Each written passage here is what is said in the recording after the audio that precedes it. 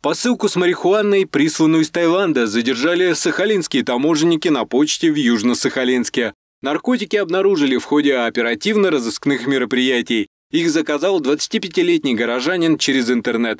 В сопроводительном письме было заявлено, что в отправлении товары для здоровья, сухофрукты, чай, сушеные грибы и крем для лица. Вместо всего этого таможенники нашли три вакуумных пакета в незаводской упаковке с высушенными частями растений. Содержимым оказалась марихуана весом 133 грамма. Заказчика задержали в почтовом отделении, когда он пришел за посылкой. Теперь ему грозит от 10 до 20 лет лишения свободы. Проводится расследование.